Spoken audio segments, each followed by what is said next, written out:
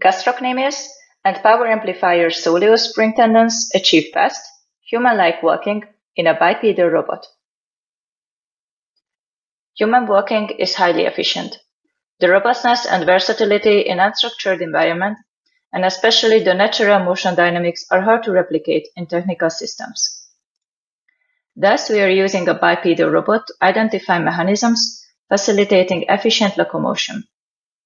In this study, we aim to answer the question, what are the roles of soleus and gastrocnemius spring tendons in push-off during human-like walking in a bipedal robot? Three robot configurations were tested, with both gastrocnemius and soleus spring tendons, with only soleus spring tendon, and with only gastrocnemius spring tendon.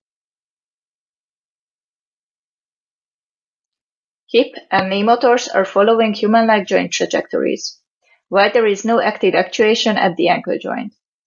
To reach stable walking patterns, the motor control parameters had to be minimally adjusted between the configurations. Motion coordination between the ankle and knee joints is different by all three configurations. Walking speed and cost of transport is similar in the gastrocnemius plus soleus and soleus configurations.